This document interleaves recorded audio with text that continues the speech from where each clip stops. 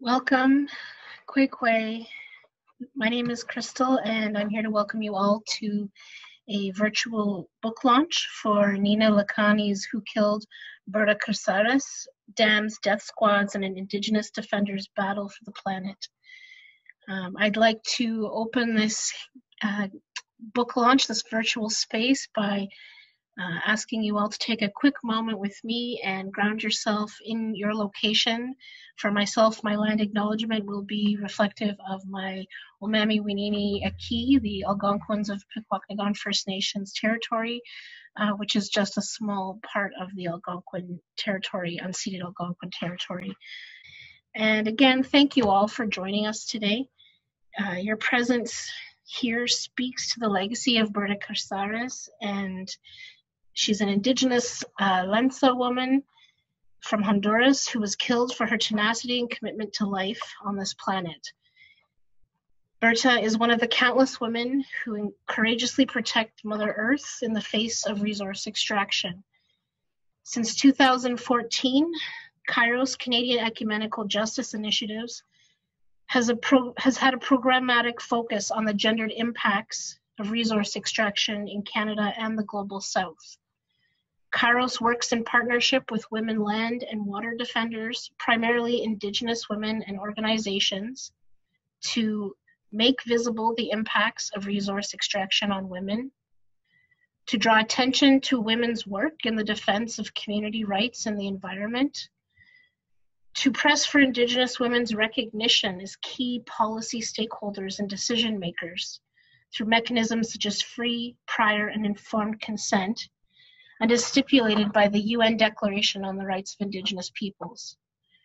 And we also advocate at Kairos for corporate accountability of the Canadian extractive sector operating abroad. In November 2019, Kairos launched the first phase of the Living Digital Hub Mother Earth and Resource Extracting Women Defending Land and Water, which brings together original and existing material to support research, advocacy, information sharing, and movement building on the gendered impacts of resource extraction. So this first phase focused almost exclusively on Latin America. The next phase, which highlights land defense in Canada, uh, will launch this Sunday on June 21st.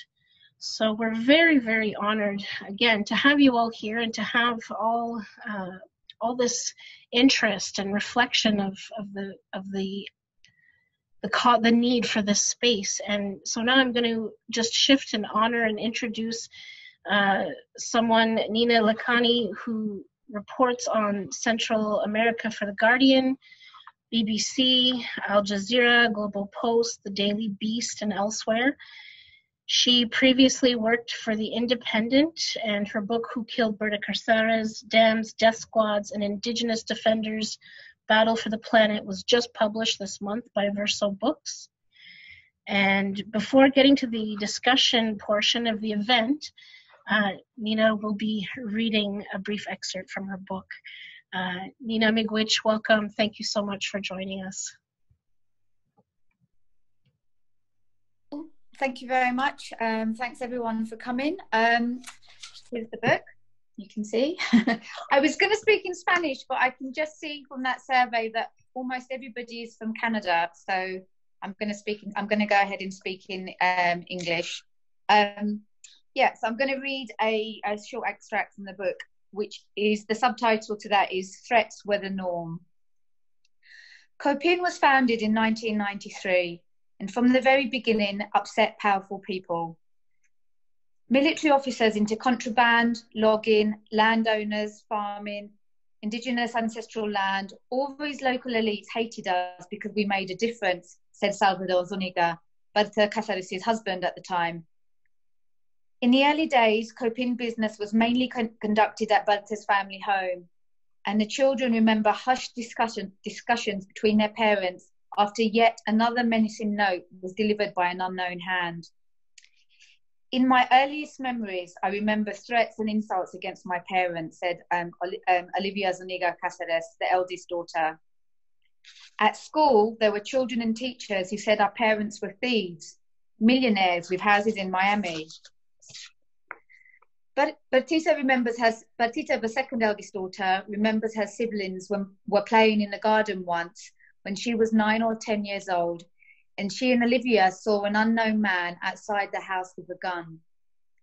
On another occasion, their dog, Chocolate, saved the nanny who was being attacked by someone from a, with a knife. After that, Chocolate was our hero, said Bertita. The fact is, there were so many incidents that threats seemed normal to us. Maybe that's why we believe that she would never really be killed. Threats were nothing new, but everything changed in 2013. Berta the dangers connected to Agua Zarca, the, um, the Agua Zarca Dam, as something more serious. The company's first security chief, Douglas Geovanny Bustillo, an ex army lieutenant, didn't bother to contain his disdain for Berta and COPINH. He was rude and aggressive to people in Rio Blanco, harassing community leaders like Chico Sanchez, who got so tired of the constant calls and offers of bribes that he changed his telephone number. Bustillo also sexually harassed Berta. My life doesn't make sense without you, he wrote in a text message on 20th of September 2013, just a week after testifying against her in court. The company president was different. David Castillo was a privately educated, bilingual, charismatic, retired military intelligence officer who never directly threatened Berta. He was much too clever for that, and that's why she was afraid of him. In July 2013, a couple of days before Tomas Garcia was killed in Rio Blanco, Castillo and Sergio Rodriguez, DESA's community and environment manager, went to the COPINH Training Center in La Esperanza expecting a private sit down with Berta. But she wasn't alone. Representatives from Rio Blanco and COPINH leadership were also there. I don't make the decision, said Berta. I do what the community wants. Castillo offered numerous social projects in exchange for ending the roadblock, but the community said no. Rodriguez complained that while the company was trying to find a solution to the conflict, COPINH didn't really care about the communities. It just wanted the project gone. Berta and the local leaders viewed the offer, offer of community projects in exchange for supporting the dam as nothing more than a bribe. Not long after Thomas Garcia was killed, Berta asked Suyapa Martinez, director of the Feminist Center for Women's Studies, for permission to meet with Castillo in the office. That maldito is promising stuff we don't agree with, but things are heavy. I have to talk to him, she said. The meeting didn't last long. After he left, Berta confided in Suyapa. That one scares me. He's a military man. A few weeks later, the court issued the arrest warrant against Berta. You see, this is different, she told her daughters. She did warn us, said Bertita, she often mentioned Bustillo, Jorge Avila, David Castillo, and an unscrupulous family of sicarios who operated around Rio Blanco. I documented the threats, I put out press releases, but honestly, I never thought anything would happen to her. Laura, the youngest daughter, agreed. We knew that she was being monitored, and of course we were worried, but this was normal, or maybe we just didn't want to believe it hindsight can be agonizing. Have I run out of time or should I keep going? Sorry.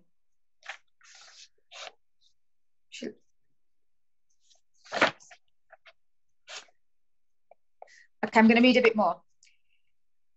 Berta had begun as a junior partner in Copin, but over time her confidence and standing increased as her vision and analysis evolved she came to understand capitalism as not only an economic model, but a patriarchal one, which dominated women in different ways. That's why she understood that combat, combating patriarchal ca- capitalism had to start with acknowledging and tackling taboo topics like gender violence, sexual harassment, homophobia, and inequality within her own organization. Compa, she would say to Sotero Chavarria, her friend, as they drove to meetings, you know you're a fucking machista. I am, you're right, Hadmana, but I'm trying to change. They were best of friends, and even serious talk like that ended in laughter. In every space, at every opportunity, Berta tackle gender violence and discrimination head on. It's us women that wash that wash clothes and cook. We need to protect our rivers. We are the heart of our families and the struggle. Cabrones, you need to change. All of this machista shit is old, she tell her listeners at workshops in far-flung rural communities. It was uncomfortable, and sometimes the men stormed out. Others insulted her, but this motivated her to do more. In March, in March 2011, Berta convoked a women-only weekend assembly um, during which she tackled big issues like patriarchy, machismo, feminism, racism, sexual diversity, and sexual pleasure, encouraging participants to share personal experiences of violence, discrimination, and resistance. We have to respect differences. We women can, cannot stay quiet anymore. It doesn't matter if you can't read or write. You are smarter than many who, you, many who can. Your experiences matter. This is how we change things, she said. That weekend, the women did not cook or clean or even make coffee. Instead, they were served by male COPINH members, including Salvador. This made both men and women easy and uneasy at first, but it generated debate and helped change norms within COPINH. It illustrated Berta's political clarity and conviction and a radical vision that no other organisation has, not even today. So Thank you. Thank you, Nina, for that powerful reading. And, and thank you for writing, uh, thank you for writing this book. I had the opportunity to read it over the weekend and uh, it's a story that, that needs to be told and needs to be heard um, far and wide, worldwide. Um, um, your writing is, is captivating and you, you managed to capture Berta. Um, I remember at the World Social Forum in 2016, Honduran uh, journalist and friend of Berta, uh, Felix Molino, Molina, said that Berta had three qualities that made her a, such a powerful advocate uh, and a defender. Indi- she's indigenous, she's a woman, and she's a feminist. And um, all that was very clear from your your your, your readings uh, um, just now. And you've also in your book you capture, and in the reading as well, the context the history, the systems in Honduras, including uh, colonization, appropriation of land, discrimination, economic policy, neoliberal policies, free trade agreements, uh, US intervention, patriarchy, all these systems that led to Berta's murder and ultimately, I think, make it so difficult to answer that question who killed Berta, who as in an individual, because it's this web of systems and policies. Um, anyway, I'm I'm Rachel Warden. I uh, I work at Kairos uh, as manager of, of partnerships, uh, and it's a real privilege to moderate this this book launch and and this discussion. Um, and I'm joined here uh, with Nina Lakhani, and two other amazing uh, land defenders from Latin America, who I have the pleasure of introducing. Um, primero, uh, quiero presentar a. First of all, I would like to present a Vidalina Morales. A Vidalina Morales. She is a key figure in El Salvador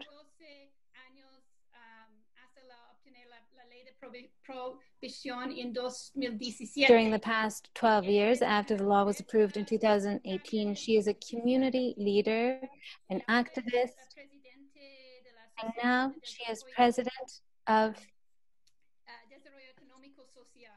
of the Economic Social Development Association in Santa Marta. Vidalina has also visited Canada on various occasions and she has spoken about the injustice of mining activities in El Salvador.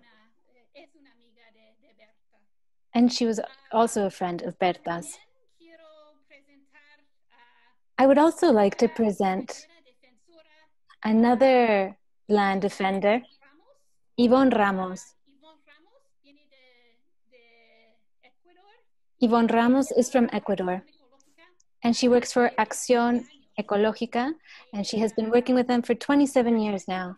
Acción Ecológica, or Ecological Action, is a partner of Kairos for more than 20 years, and she is the coordinator of a, a women's organization, Saramanta, mi Daughters of Maiz, and it is a coalition of defenders, women, defenders of human rights, and defenders of nature in Ecuador. Welcome, welcome Vidalina, and welcome Yvonne.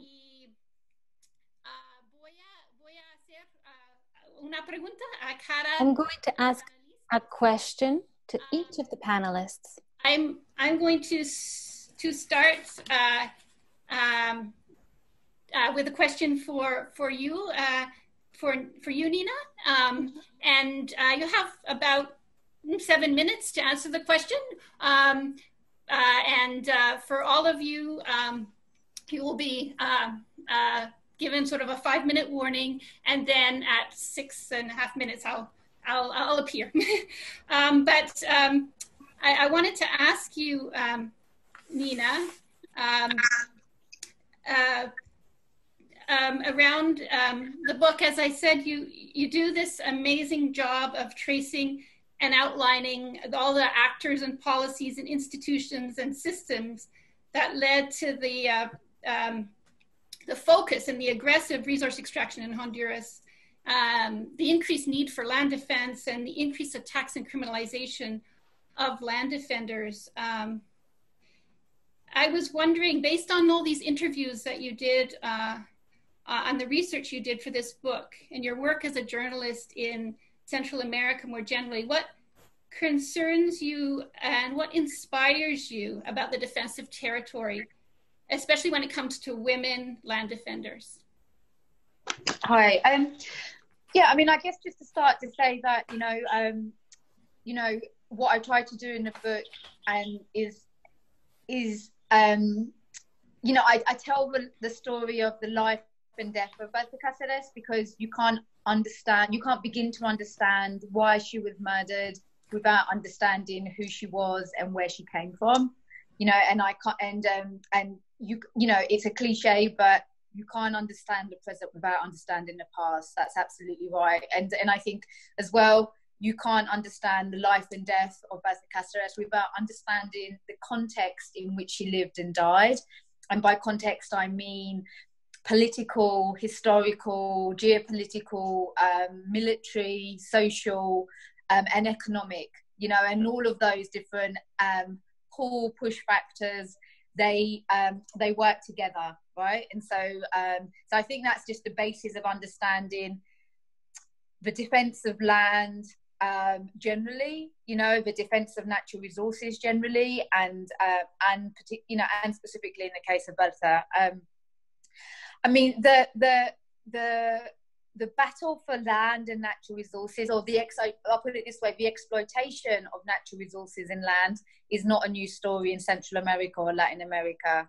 You know, I say this in the book, and it's a sweeping generalization, but I think it pretty much is true every battle has always been about land and it still continues to be so um, and um, you know when you even if you go back just a few decades and you go back to the dirty wars and the civil wars um, of El Salvador, Honduras, of all of it, you know, across across the across the continent. While politically, certainly in Central America, while it turned, you know, Central America was turned into, uh, you know, um, a, a, proxy for this uh, for the Cold War between the United States and Russia. A lot of that, a lot of the, a lot of the warring, a lot of the bloodshed that came before and during um, was about a battle for the land and a battle for the riches and natural resources um, um, in each of these territories. Um, and I, I, mean, I guess what we've seen since the peace accords, and I would argue that a motivation for the peace accords, for all of the peace accords um, in Central America and, and even recently in, in Colombia has been um, partly at least motivated by the desire of national and international investors to exploit land you know for for, for minerals for energy for um, cash crops for um, yeah for dams for you know for rivers for you know for what for all of those different elements that we you know together make up the extractive industry. And we've really seen this roll out in a you know without cessation really since the, since the you know since the peace accords were signed across the region you know so really since the early 90s um, um, and and and and, and at, you know and uh, during that same period we've seen you know repression the, the use of force the use of state um, of uh, you know of state um, resources um, to repress and um, to you know violently repress to crack down on those engaged in the defence of land and territory and water and natural resources also isn't new. There are new things that have evolved. You know these these these struggles and the and the crackdowns have evolved, and we saw that in the case of Berta, which I'll come on to talk about now. Um, but you know, um, and and in this whole period, with you know, women have been at the forefront of defending land and defending water. You know, that short passage that I just read, Berta explaining or talking to women at meetings, saying, you know, it's us, it's us women that are at home. We're the ones that are using water. We need the land, you know, to feed our children. That has always been true, you know, and I think women have always been involved in the defense of their territories um, because land rights are human rights, you know, um, water rights are human rights land rights are indigenous rights. You you can't separate these different things. They're all part and parcel of the fundamental you know facets of basic human rights that um that that that enable or or or uh, or prevent individuals and communities from living dignified lives in which they and their children are allowed to fulfill their potential you know um, and free lives. I mean, what I've, you know, I think what, you know, what I've seen, and Berta in a way, slightly an exception with this in some ways, you know, um, but generally speaking, um, when all the women that I've met uh, in across the region involved, um, people like Vidalina, you know, and many others involved in the in the in the in the struggle in the um, for, you know to defend land and natural resources, is that they do that on top of all of the other responsibilities they have, which are given to them for being a woman, you know. So, on top of all of their responsibilities in the home, with their children, with their grandchildren, um, you know, cooking, cleaning, washing clothes, all of those things are on top of you know those those responsibilities very rarely go away in the in, in the case of Berta it was slightly different um that she became the international face of COPINH and from the beginning was doing lots of sort of traveling, making connections, making alliances, and learning from indigenous struggles and other rural communities, not just across Mesoamerica, across the world, you know. Um, and that in itself, you know, opened her, and this, and um, this happens to many women who are involved in social struggles and land, if you know, the defense of land, is that they just by being daring to be present in that public sphere they are subjected to you know intense criticism. You know i mean i write about this in the book that it hurt berta terribly to be considered and called a bad mother but including by those in her own family that people that somebody that killed who cared more about the indigenous people than that she cared about her own children you know that criticism of um, you know, labeling somebody a bad mother um, and a bad woman because you're, you know, you're not fulfilling those roles that patriarchal, uh, you know, um, society d- demands of you.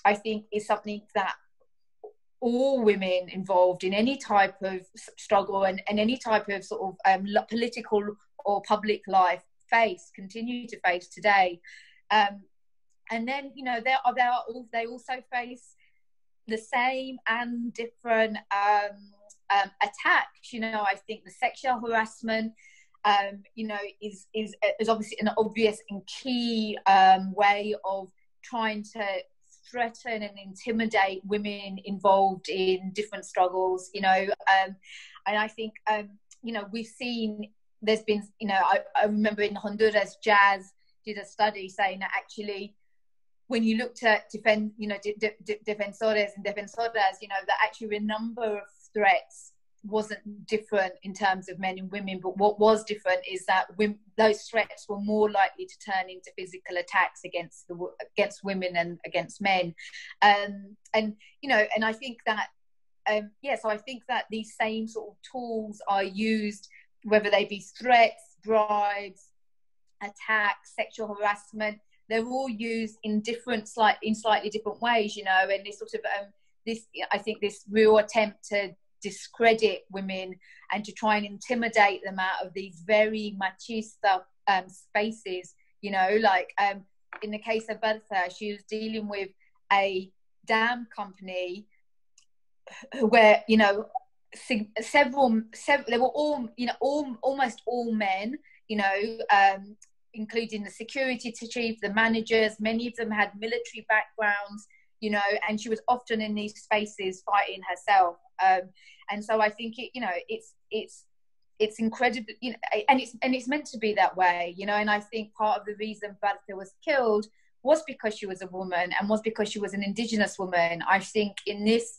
machista sort of patriarchal economic and political model in which um, she existed and we exist that the idea that an indigenous woman could interrupt could um, stop them was just intolerable you know and it was unacceptable and she was a bad example to others and that that's and you know and that they couldn't have it and and they tried to neutralize her tried to silence her in using many different tactics and these tactics will be familiar to people like Vidalina who was you know there and active during the El Salvador um, you know um, civil war these counterinsurgency tactics you know the whole gamut of bribes and threats and intimidation and you know defamation campaigns criminalization all of that same sort of range of tactics were used against Berta and they're used against women and male defenders today.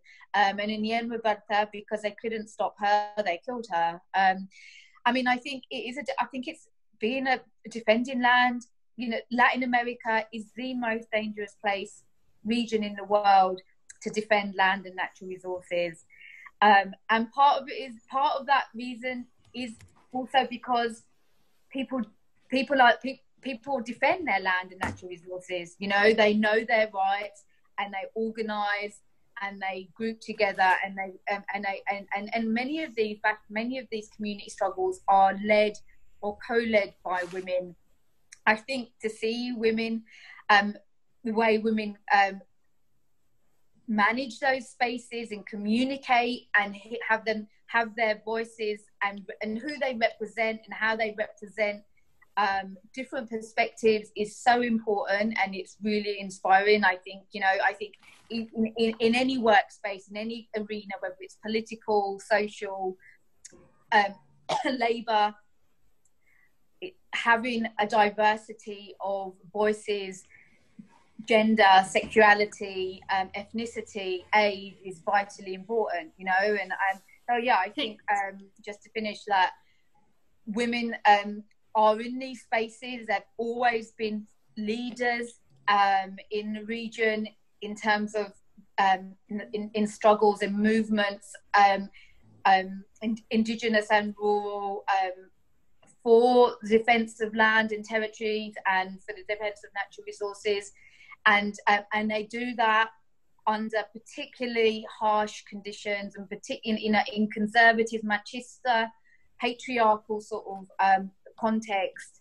Um, and they do that on top of all the, the other responsibilities that are um, that are expected of them just for, for, for, being a woman you know for being women. Um, and so there is very much a lot to be inspired by um, and to admire um, and you know, I think that the response in terms of the support and encouragement and um, yeah, that that that the international community needs to needs to be given to women to female defenders is is is is huge, but also quite quite particular in the support and resources that they may need to stay safe, um, to keep their families safe, and to be able to continue in the struggles that they're involved in.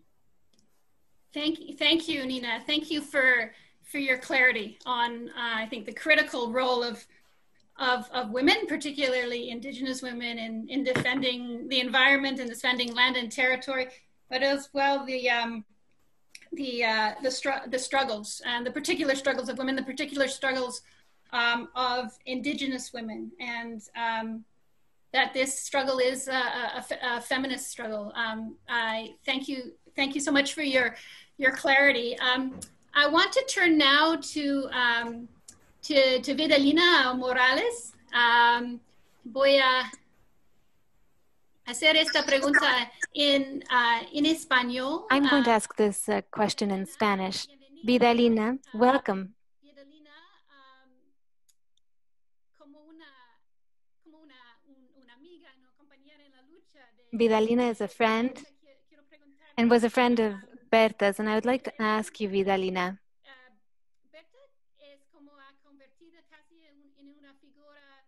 Berta has almost become a mythical figure.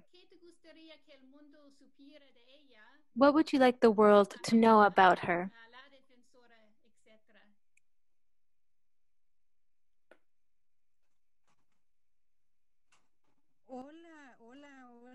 Compañeras. Vidalina says, Hello, hello, Creo que hay sisters, friends, en- en esta everyone who's connected. actividad. Un saludo a todas y a todos. Eh, I would like to say hello to each and every one of you. invitan a hablar de Berta, siempre no deja de Every time I'm invited to speak about Berta, I always feel nervous le conocí en momentos muy difíciles de- because I knew her during very difficult times of the armed conflict here in El Salvador. And even at that time, I firmly believed in the courage, the strength of Berta.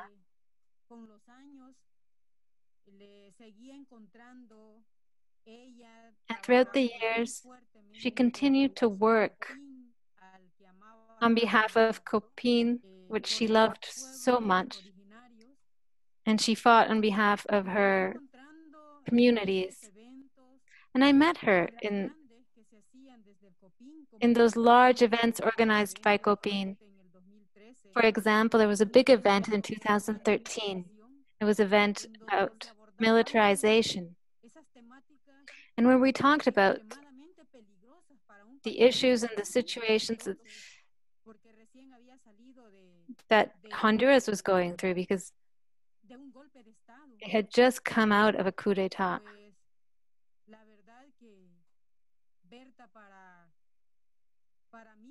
Berta for me, and for the world,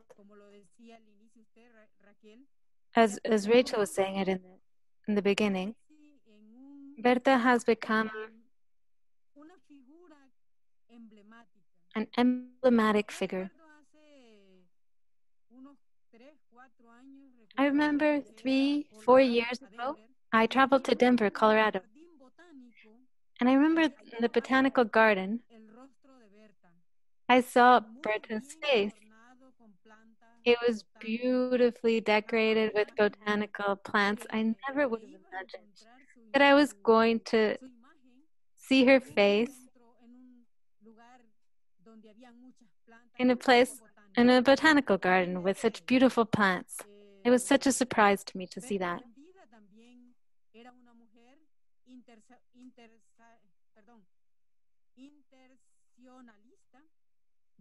And Berta was also an international person,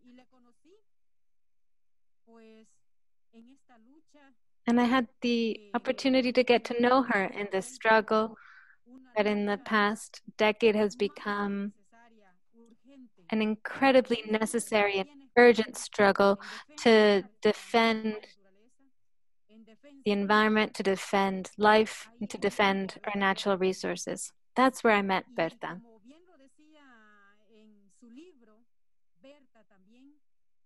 And as is said in, in the book, Berta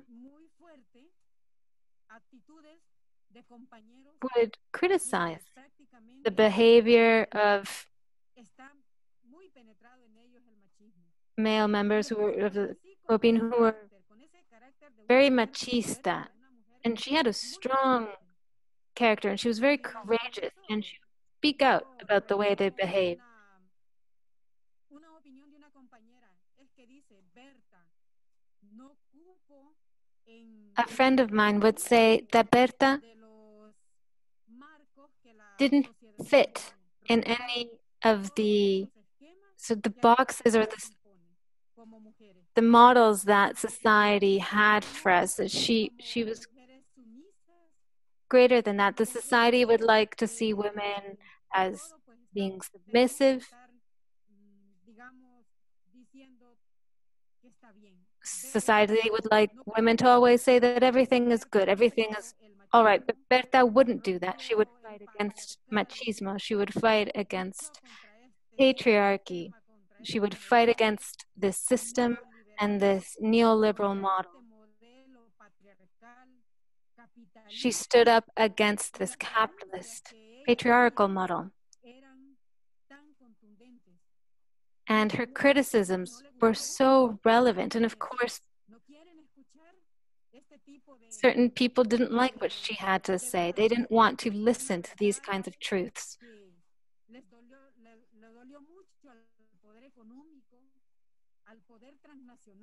And her truth was seen as a threat to the transnational and economic power.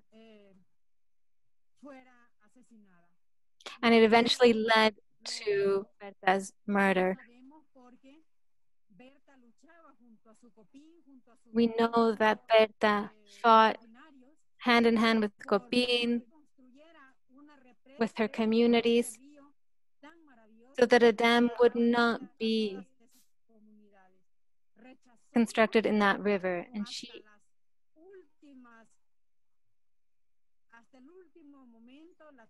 she fought in every way possible that project in Rio Blanco, and that led to her death. Her strength and her courage inspired us. And we are con- we continue to be inspired by her legacy, by her struggle, by the strength of Berta, for her courageousness, for her commitment. She was she's an example to follow. Eso es, pues para mí, Berta, después de muerta y en vida, siempre fue una Berta has always been an inspiration. When I began sí, cuando yo my remarks, I was saying that she and I met when we were very young. yo apenas de 21 años, I only I was only 21 years old at the time. creo de 20, 19, I think she was 19 or 20 because we were almost the same age. And she when I met her, she inspired me so much. She was also a humble woman. con, eh, situaciones muy adversas. She was able to tolerate and put up with a lot of difficulty and conflict. en el mismo lugar, en la misma casa. And I remember when we lived in the same house, la, la molestaba. Le, Berta, como era tan humilde, ella no podía, eh, o sea, no le... Berta was so humble.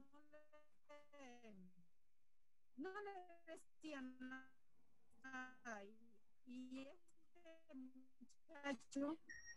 Vidalina, estamos teniendo problemas eh, escuchándote. con- Rachel says, Vidalina, we're having difficulty listening to you. Your audio is breaking up. Vidalina, chistes de mal gusto. A ella Rachel ella says, era una Vidalina. que sabía soportar. bueno, gracias, gracias, Vidalina. Hola. ¿Me puede escuchar? Sí, muchas. Rachel asks, Vidalina, Vidalina, can you hear me? Thank you. Thank you so much. Thank you so much, Vidalina, for sharing your words and your comments about your friend.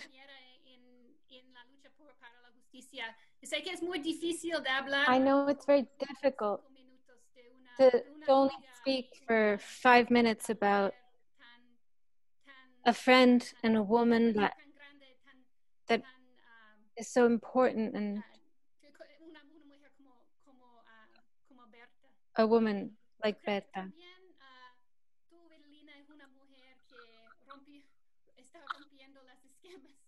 And I think you and Vidalina, you Vidalina, are also breaking barriers and breaking molds. It's something that I I can also see in you. Now I'm going to ask a question to Yvonne Ramos from Ecological Action, Acción Ecológica. Yvonne, maybe you could speak to us about Berta's legacy, specifically her legacy for women land defenders and for women in Latin America. What is Berta's legacy? Yvonne says, Thank you so much, Kairos, for the invitation to participate in this event. I would like to start by sharing a reflection based on a phrase that's from an indigenous woman in Ecuador, leader of the indigenous movement. Her name is Dolor Cacuango. And she would say, We are like a plant that uh, these are these plants that protect and generate, help water to regenerate itself. It's a sacred place for the indigenous movement. And that's what happened to Berta. And that's what happens with a lot of women land defenders. They are like these plants that pulled out of their roots but continue to grow. And Berta is in the spirit of all women land defenders. Berta Cáceres has been an inspiration. And she has been an inspiration for organization and collaboration in women land defender movements. She has been an inspiration for women human rights defenders all of Latin America. I am part of the Latin American Network of Women Rights and a member of Acción Ecológica and as well as a member of Women Defenders San Manta which is the group of indigenous and non-indigenous women in Ecuador. The Latin American Network is an organization of women that has presence in 11 countries and it participates in projects and initiatives that protect women rights and rights of the environment and social and cultural rights, which are threatened by extractive projects such as mining companies and that affect women in El Salvador, Colombia, Ecuador, Peru, Bolivia, Uruguay, Chile, Argentina, Brazil, and Guatemala.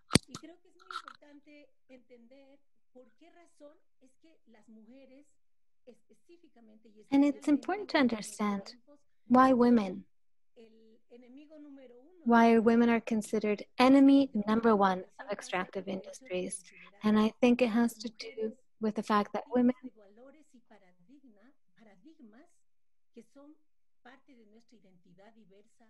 it has to do with our identity and our cultural diversity and the fact that we are women. And it allows us to prioritize the sacredness of life and nature.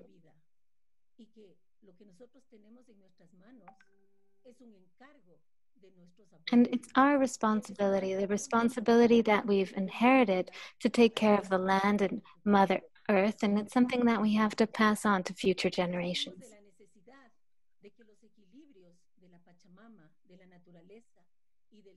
We know that the balance of Mother Earth and of hum- between human beings is absolutely necessary, especially now when the pandemic has shown us that if the balance of nature is disordered, that humans are very vulnerable, and the possibility of the extinction of human beings is something that comes to the service. We're witnessing natural disasters, and that that is a result of global warming.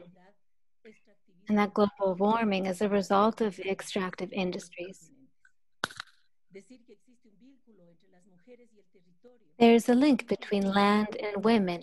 It's a, a link that cannot be broken, and it's a space where life is reproduced. And this is a much stronger bond than the economy. It's a symbolic bond and it's historical belonging. And this perspective of women and of indigenous cultures, that way of looking at life, does not fit with the capitalist model, which accumulates power and money, which sees nature, human beings, women, and indigenous communities as something that should be exploited. The colonialist power still reproduces these traditional practices and uses violence in all its dimensions, and also the supposed economic stimuli to absorb those logics and those purposes of the and it's the men who have carried this out and who have imposed this model. That is why women as leaders and land defenders, as of the 1990s, is a position that threatens that power, patriarchal power, and extractive power. And it's antagonistic to that model. And it's founded in the exploitation of natural resources. And that is the very reason why this patriarchal model, which is violent, generates more violence. And this violence is characteristic of this model, and it's violence against women in order to control and to discriminate and to break the social fabric and the strength of the communities, indigenous and rural communities in Latin America. And this is in the benefit of economic groups, national governments that work with transnational corporations. So that use of violence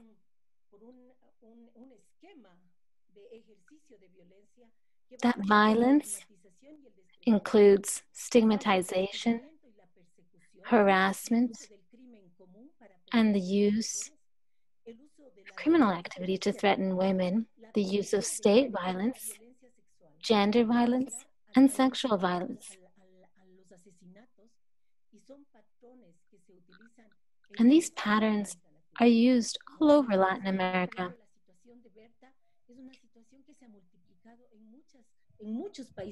What Berta experienced has happened to many other women throughout Latin America. And this is related to gender.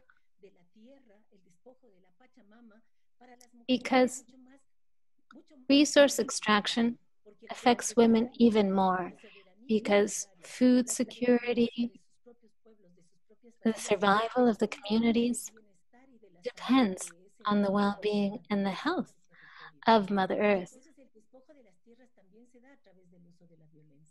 And extractive industries also rely on violence. Rachel says, Thank you, Yvonne. I'm so sorry to cut you off. We just don't have much more time. And we need some time to see the video. Thank you so much for your clarity. And thank you so much for the connections you made between extractive industries and violence, and specifically violence against women. Thank you so much for sharing your insights with us. Before finishing, and before giving thanks, we're going to show a video. And this is a video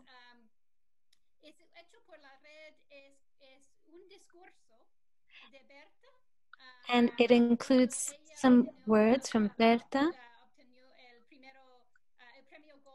when she received the Goldman Prize or the Goldman Award.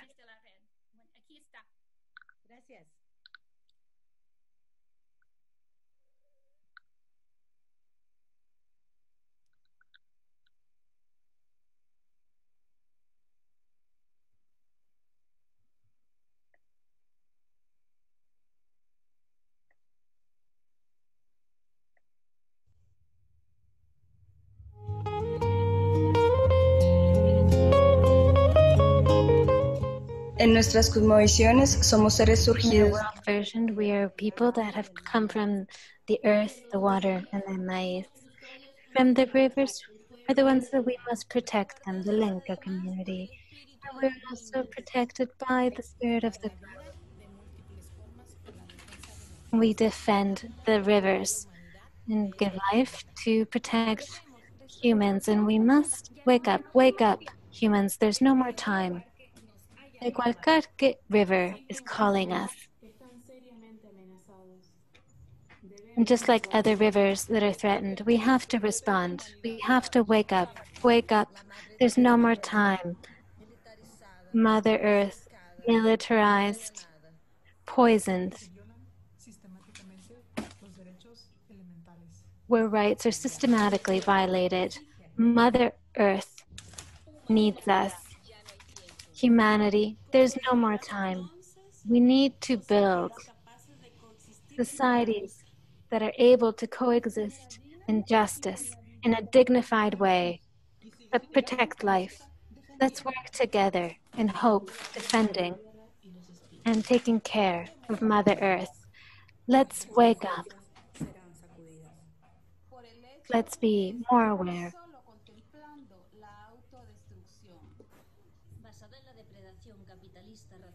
based on racism, on capitalism, we need to wake up.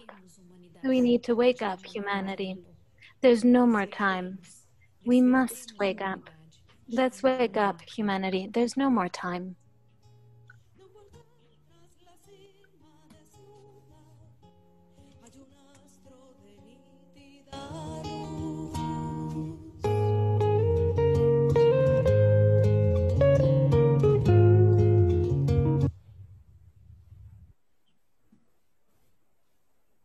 Thank you. That that was that was beautiful. Um, uh, many times it's said about uh, uh, Berta that she no murió, se multiplicó. She didn't die. She was multiplied, and and you see that in the voices of of of of, of women and women defenders um, throughout Latin America and throughout the the world. Um, I, I want to thank uh, I want to thank everyone. I, I want to thank you for being part of this discussion. Um, I want to uh, encourage uh, everyone to uh, to read the book. Um, we've had um, we've been given a taste of it. Um, we know uh, who Berta is, um, uh, how how she um, how she lived, who her friends were, how she defended her territory, um, how she was an indigenous woman, how she was an activist. And we've heard uh, from her friends and, and, and people in her networks. Um, we want these discussions to continue. So we're encouraging you to, to um, buy, buy the book and if possible, by supporting your, your favorite independent, independent bookstore. Um, we would be interested uh, as Kairos to continue these discussions and, and to facilitate uh, kind of a, a, a book club or a book discussion on, on this book. So please uh, let us know if you're interested in in doing that and being part of that those that, those book clubs. Um, uh, and uh, Gabriela Jimenez, who is our Latin America Partnerships Coordinator, will uh, send you information um, about that as well. We'll have information on on our our, our website. Um, uh, as well, um, I wanted to uh, I wanted to let you know that there, um, as part of uh, Indigenous Women's Month, which is is is, is June for for Kairos, it's Indigenous Women's Month. We have uh, a number uh, of other events, uh, including on Thursday. Um, we have another webinar uh, uh, called "Stories of Change: Women Defending Land." and water in Canada and Brazil. So that will be Thursday afternoon, and there's information on our, our website about that as well on, uh, on Sunday. Um, June 21st, we will be launching the, uh, the Canadian content of the, the, the MARE Hub. So this is the digital hub on Mother Earth and resource extraction that, that Crystal mentioned. So stay tuned for more information about that on, on, um, on, on Sunday. Um, but I really wanted to take some time to thank everybody who was involved in this. And so uh, I think everybody's going to come up on the screen now so we can see everybody, including including the translators. So I want to I want to thank uh, Nina Lakhani. Thank you for for being here. Thank you for writing the book. Uh, I want to thank Vidalina Morales. Uh, I want to thank Yvonne Ramos. I want to thank the Red de Latinoamericana de Mujeres Defensoras. Um, I want to thank Crystal. Desale for opening. I want to thank Gabriela Jimenez, who is uh, been behind the scenes. She is responsible for bringing us all together and making this happen. And yes, she is there. So thank you, Gabriela. Um, thank you, uh, Paulina Baez and uh, Kate Stubbs for interpretation. Um, please, uh, please remember to um, to uh, to follow the, the MARE Hub on Facebook and Instagram. Uh, look, look to our websites for um, upcoming webinars. Uh, please buy the book and please participate in our, our discussions uh, about this book and uh, keep, uh, keep Berta Cáceres multiplying. Um, Berta Cáceres uh, presente.